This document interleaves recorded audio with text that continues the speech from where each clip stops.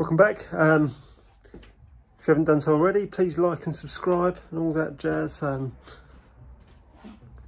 who knows? It may may help, it may not. No. So, little update of where we were at the end of yesterday. The second cylinder had the valve machined. It is waiting to go back on the engine. Uh, I thought I'd look for, see if I had a bit of material last night. I found some, some of this drawn bronze. It's not great for what we're looking for. Um, did find some phosphor bronze as well. Again, not ideal. What I really wanted was some stainless. Uh, the original bobbins were stainless. Uh, these ones are um, so I wanted to make the new one stainless. Uh, the only bit of stainless I had was three quarter, which was a rattling fit in the hole.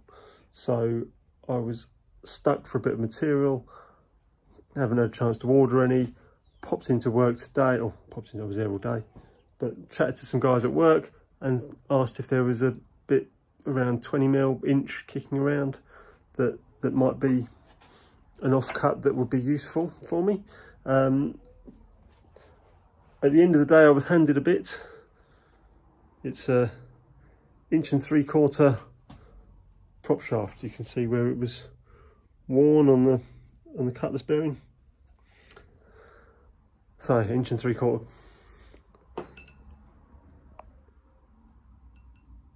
That's about the size I need to get out of it.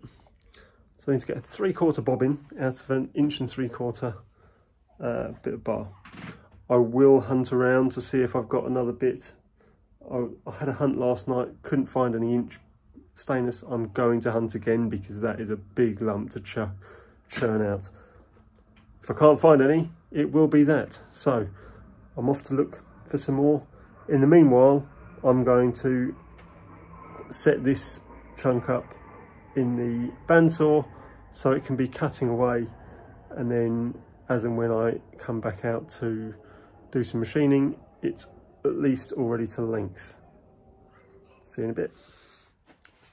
so just before I started cutting the metal, uh, I'd had a phone call from a friend who's popped round for the evening. Uh, he's just recently turned up, uh, but I mentioned to him about the stainless and, and needing um, only just over three quarter, and all I had was inch and three quarters. He had a look, he didn't let me know, so I started cutting, but I got that far, so sort of two thirds of the way ish through the cut, and then he turned up with a much shorter, smaller length of, of bar, which I have already now cut, I abandoned that cut. It probably cut both of these in the same time as it would have taken to finish that cut. Um, I haven't actually measured it. I think it's just like about an inch. Um, I've already cut two pieces of that. So now I can go and machine them. But before I can machine them, I also need to reinstate the cross slide because at the moment I've still got all the clamps on there from machining the blocks. So next time you see me, we'll be working on that. I'm back in the workshop, got a cut going on. Uh, so if I stop for a moment, then it's because I'm dealing with that. Um, I've put the stainless into the lathe. It needs to go down to just over three quarter. So what I'm doing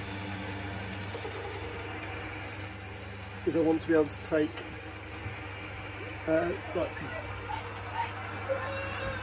Want to be able to take down to just over what I need.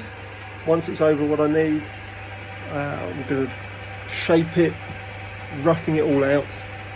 Um, I might final cut the, the, the middle of the bobbin. Just remind you what it looks like. So I'm final cut the, the size in the middle, but I'll, I'll leave a little bit extra on every face.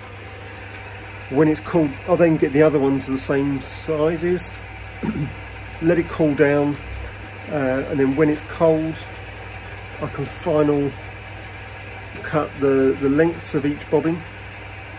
Um, and once that's done, I'll part it off.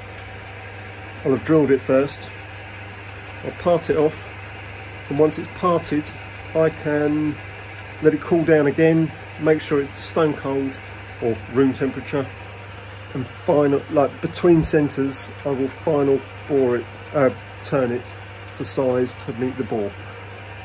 It's important to do it when it's cold, otherwise if you take a final cut when it's still hot, it will then shrink and you'll end up with a thou or two clearance, which isn't what we want in this situation. So, to begin with, I'm going to rough it all out to size.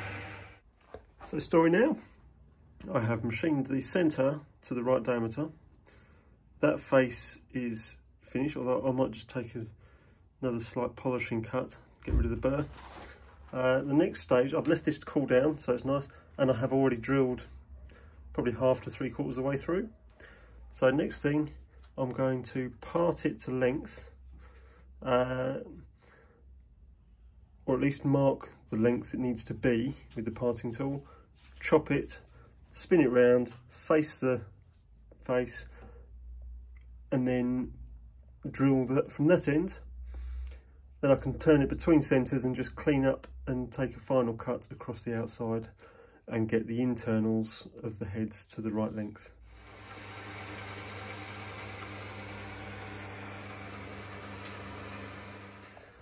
So close the play for the day. I've Got the two valves almost to size in both directions. I think they're the right length. They just need the heads put to size and to diameter. And then they can go back on the engine which I've put the lubricator back in the bogie uh, stretchers back in. So that's ready to go. The last thing to go back on is the bogie. Um, I'll get the valves in I'll run it on air and then I can check the timing by the ports for the drain cocks and then we're all done. All the other sides back together as well. So yeah, we're close. So tomorrow I can finish those valves and then I can hopefully put them in, reset the timing and we'll be good to test run on Sunday. So let's see how it goes. Thanks for watching. Please do subscribe and tell your friends as well. I will catch up with you tomorrow.